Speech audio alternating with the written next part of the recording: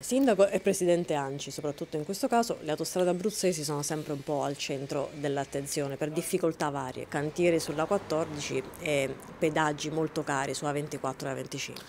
Sulla 14 abbiamo preso atto di questa risposta del Ministro Salvini che sposta ancora una volta in avanti la risoluzione del problema, addirittura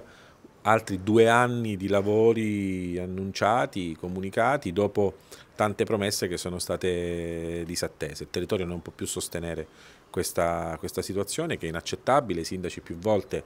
nel corso di questi anni hanno sollevato questa problematica e le rassicurazioni del, dell'ultimo governo evidentemente sono state smentite proprio dalle, dalle parole del, del, Ministro Salvini. Noi chiediamo quindi certezza sui tempi, interventi immediati, lavori che siano compatibili con una situazione che riduca al minimo il disagio, a questo punto, perché no, eh, si valuti seriamente ed è eh, una questione seria, eh, visto che c'è un protrarsi di questi disagi con una situazione veramente di paralisi in alcune giornate, in alcuni momenti della, della giornata, in alcuni tratti della 14 abruzzese, anche l'azzeramento del pedaggio, perché se questi lavori si protraggono e di fatto rendono eh, invivibile e insostenibile il traffico autostradale, a questo punto si azzera il pedaggio. Tema dei pedaggi che ovviamente riguarda anche l'altra questione, l'altra autostrada, quindi l'autostrada la, per Roma 24-25, eh, anche qui tante promesse, tanti annunci da parte del governo, ma oggi